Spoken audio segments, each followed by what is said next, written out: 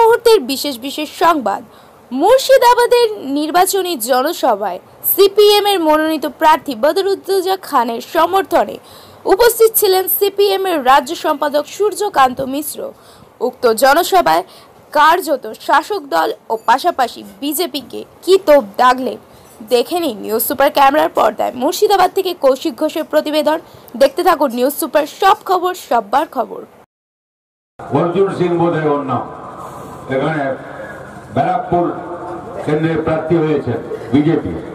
উনি বলছেন যে এই একশো জন এই বিধানসভায় যে এমএলএ আছে, তারা নাকি এদের সঙ্গে যোগাযোগ রাখছে, বসে আছে।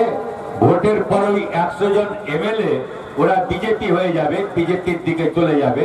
তার মানে আমার চিন্তা হচ্ছে যে এই ভোটের পর খালি মোদি যাবেন না তারপরে ওর দিদি সরকারটাও ওই রকম করে ভেঙে পড়বে, এই পায়ের তলার মাটি যাবে। তবে আপনাদের কি সুবিধা হবে? যদি একশোটা বিজেপিতে যায়, তাহলে তো পশ্চিম বাংলায় ত্রিপুরার মতো হবে।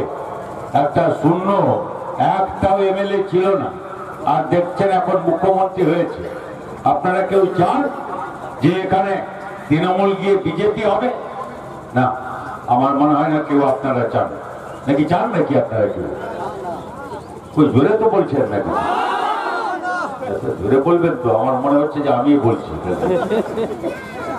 তাহলে কি হবে কি? না, আমি বলছি যে আপনারা নিশ্চিন্ত থাকুন। এটা বললাম এই একটা কারণে। কেউ কেউ বলে যে বিজেপিকে ভোট দাও, তৃণমূলকে হটাতে হবে। বিজেপি ছাড়া কেউ পারবে না। মানে পশ্চিম বাংলাটাকে ত্রিপুরা বানাবে আর কেউ কেউ বলছে, বিজেপিকে যদি হটাতে হয়, আটকাতে হয়, তাহলে তৃণমূলকে ভোট দাও।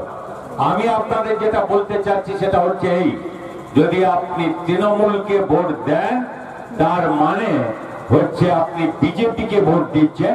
আর যদি বিজেপিকে ভোট দেন, তাহলে বুঝবেন তৃণমূলকে ভোট দিচ্ছেন।